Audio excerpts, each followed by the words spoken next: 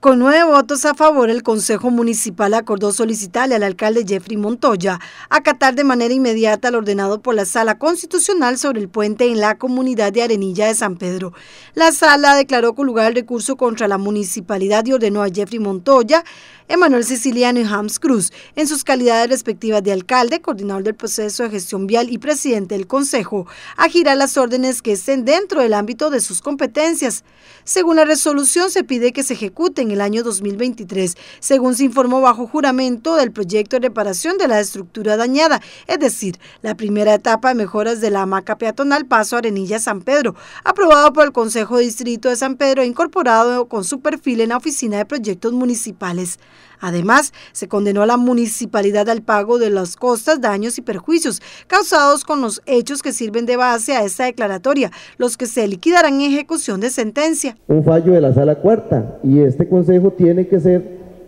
tiene que ser garante de que se cumpla el mandato constitucional. Y en tercer lugar, me preocupa el tema de las costas, porque constantemente aquí se están ganando recursos de amparo por cosas que son de lógica, cosas que no deberían ser motivo de, polémica ni de discrepancia,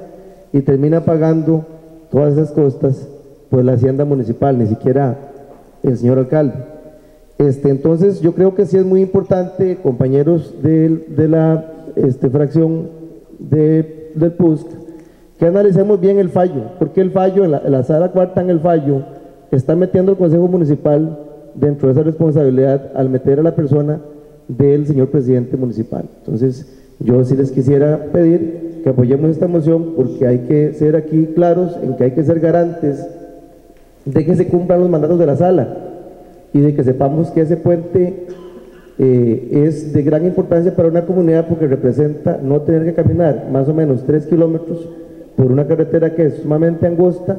que carece de aceras aquí hemos venido con el estribillo de que a nosotros no nos toca y nos quitamos el tiro, y eso, no es así. Tenemos la obligación y la potestad de indicar qué cosas debe hacer el alcalde y él tiene la posibilidad del veto. Pero si hay un acuerdo, tiene la obligación de ejecutarlo. Al presidente le dice en el ámbito de sus, de sus capacitaciones, o sea, yo no, yo no, yo no manejo maquinaria, yo no soy administrativo en el ámbito de mi labor y el cual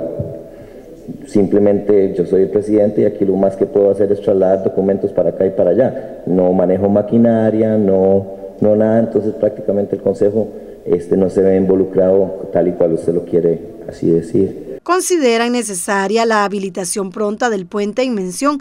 debido a la facilidad que esto representa para quienes no tienen transporte propio de movilizarse hasta el centro de San Pedro.